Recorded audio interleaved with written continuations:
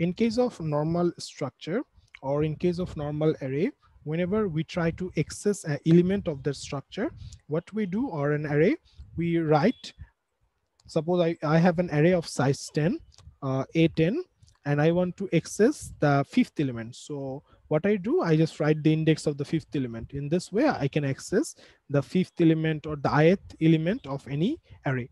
Okay. If in case of structure, okay, what we do, let's assume I have a structure named let's, uh, student. Okay, I'm using the same type of uh, student.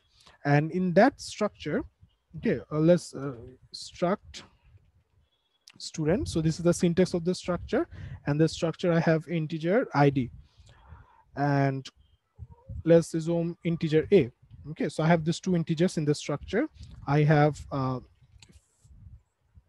a variable s of the structure. So if i want to access the variables all i have to do from the main function okay i have to write uh, if i write the main function here so i have to write s dot id. In that way i can access the information. Now in case of array or the structure the advantage is that it's easy to access the data.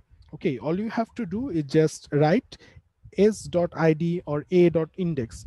But what if you want to actually protect your information? What if you want to apply different levels of control? Like uh, some of the information, they can be accessed by everyone. Some of the information then can be only accessed by you. Just think about uh, Facebook. Okay, all of us here actually use Facebook so in the Facebook, you will notice that there are different type of uh, access modifiers for your information. Like if I think about your inbox, okay, only you can see who are you sending message and uh, you can see um, that when your uh, account was created and so on. So some of the information, they can be made only for you. Like if I talk about your friend list, okay, what you can do in Facebook, you can make your friend list private, okay, only me. So in the phase, uh, pri private is basically uh, another name for only me. Protected can be uh, friends. Okay, they are not exactly same. I'm just uh, putting them into the context so that you, you can easily remember and public can be public okay so in case of private what happens that if you have an account in case of only me whenever you log into that account with id password only you can see the informations that are given only me. So if you like uh, select your birth date or year of the birth as only me that your friends will not be able to see it. If you set your friend list to only me no one else will be able to see where your friends are. Okay and there are a lot of other information what you can send to only me. So those are only can be accessed by you. Okay not your friends or your closest friends can see it and then we have another option that is friends. That means your friends can only see what you post on your wall. Your friends can only uh, see your friend list. Your friends can only see your birthday and so on. So these are almost like protected. That means these informations are visible but only to some of your friends or specific number of people we can say. And public means there is no restriction. Anyone who is not even your friend he, if you, he searches your information he can see it so if we want to apply this type of uh, this type of privacy or this type of access modifications to our data okay in this case of structure or array we don't actually have that much of help okay but in case of c++ okay to make it an object-oriented programming, we, have we kept saying on this that C++ is an object-oriented programming. So this is one of the features that makes it object-oriented programming. Or I can say it in a way that C was a program, okay, that had many issues or many problems or challenges. So we actually added different features to C to make it uh, object-oriented programming language. And one of these features is this access modifiers. So that's why we're talking about this. Now, I, I wish I hope I have given you a basic idea of how access modifiers work. Now, let's go to the code. Okay. Now, normally, uh, if I go to the next slide, let's first see this code. Okay. Mm, yeah, here it is. So let's assume I have declared a normal class. Okay. So in this normal class, uh, we have uh, by default, whenever you declare a variable, okay, uh, it's, it is not public. So you have to make it public. Okay. So let's assume that this is a, a, variable that is public okay now what I wanted to do, let's assume integer a is my password. Okay. Oh, sorry, is my uh, friend list. So I want to make it uh, it's public. Okay. So what happens that whenever a variable in a class is made public, if I if you want to access it, okay, that means from the main function, all you have to do is first create the objects of that class and then just by just like in a structure and or an array you can use a dot and you can access the informations okay so if in just to give you a reminder in case of uh, why we use my class object one object two? Because my class class is basically an extended uh, or data structure or we can say data type. Okay so mm, if we talk about integer a you are familiar with this float a this is how we declare the variables right? First the data type then the variable. So same way here my class is the data type that i created my customized data type or my class and then object one is a variable so we declare two variables or two objects and to access the information of those objects all you have to do is same as you see this is the structure s.id so here we have to say say object one dot a. In this way you can access the variables. So if it's a public it's almost like a structure. Okay. So you don't have to remember how structure work. Just to put it in a context that this is an improvement i'm just saying. And if you want to print it okay just you have to see console output object one dot a so console output basically a printf of C++ and then return zero. So we have created two variables or two objects. We have taken inputs in those two objects from the main function and then we have uh, returned the objects, okay? Uh, printed the objects. Now let's, so now we want to improve this, okay? We want to make sure that some of our informations are uh, private, some of the information is protected and so on. So what is the difference? The difference is whenever you make your informations private, okay, we'll talk about the protected later. Let's talk about private first. So whenever you make your informations private, okay, you cannot access the informations directly anymore. That means if you write this code, okay, you cannot access the information directly. You have to go through a function. You have to go through a function that you will check whether you inform uh, you can access it or not and then you can access the information. So two part of this uh, uh, of this approach. First how to make my data or let's say the variables okay variables private Second part is that if a variable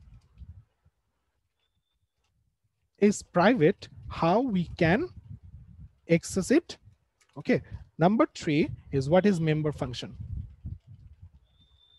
So let's talk about the three questions one by one. So first of all, how I can how can I make a variable or data private? That's easy all you have to do look at this program. So this is actually another class. You see include io stream.h this is basically same as uh, in every c program we started to start with include stdio.h so here we, start with include io stream.h okay? And then this is my class. So fo let's focus on this part.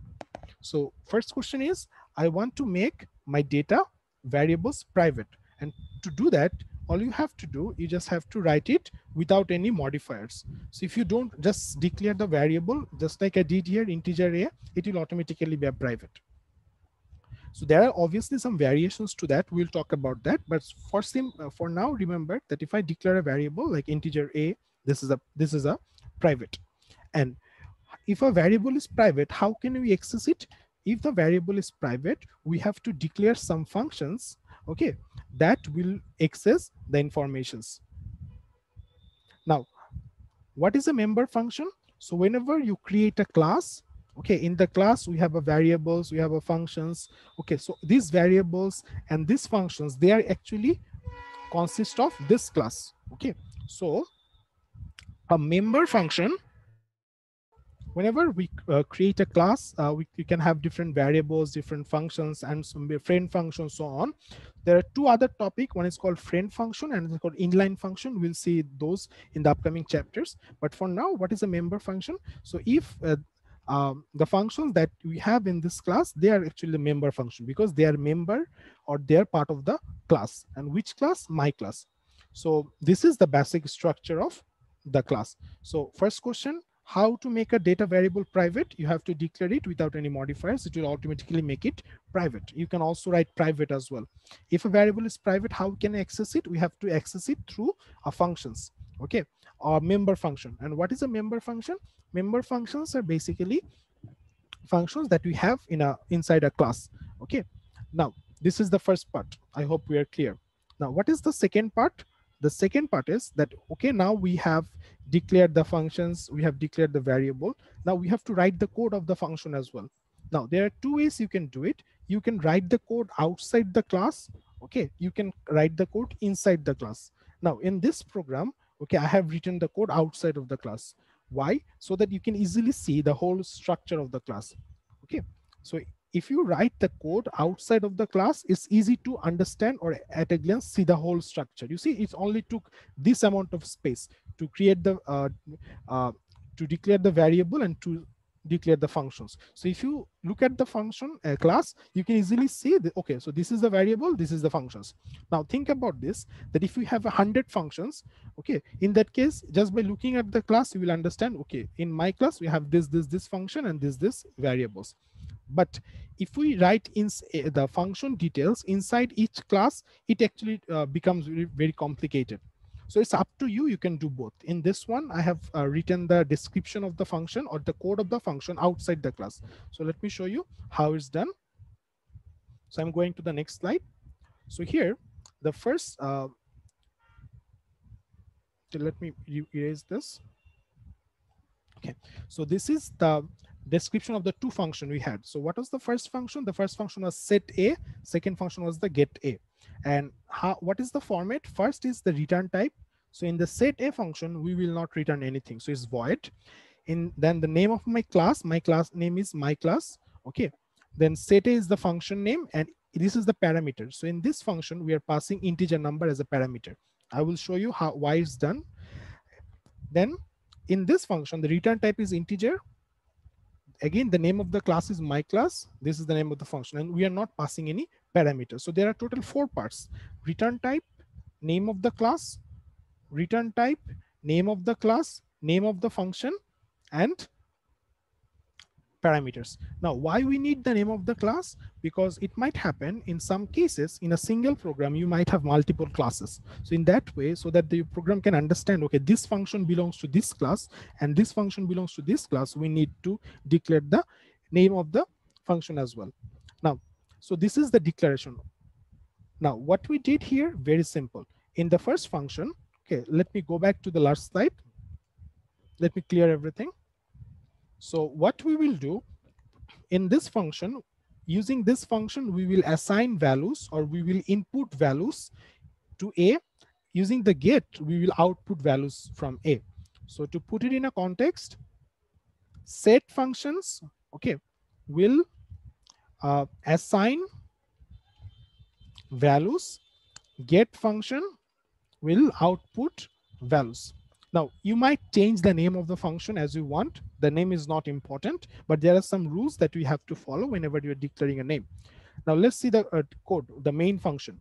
So this is my main function. Now, as you see, in this class, my integer a, the variable is private. So what we can, what we cannot do, we cannot follow this approach. The first approach that we have seen, object one dot a so this approach that is, let me write it here. Um, object one dot a is actually not be able, uh, not run, will not work anymore. What we have to do as now a is private, okay, as a is private, what we have to do, we have to first call the function that will assign the values. So in this case, the function name is set a. So first we declare two variables again, then for object one, we call the set a function with the value 10. Okay, and for the object two, we'll call the function set a with the value 99. So this is basically the same thing that we done in the last example. Let me write it here, object 2.a equals to 99. As in the last one, it was not private. We could do like this in single line, but now we have to call the functions. So these functions will assign values to the object 1a and object 2a. So this is taking the input. That is the first part, assigning values. Okay. Now, so assigning values are done. So we have already assigned values and this is not acceptable anymore because now it's private. So we have to follow this approach. And then to so see the output, what we will do, we'll call the get function, get a, get a. So object one dot get a, object two dot get a.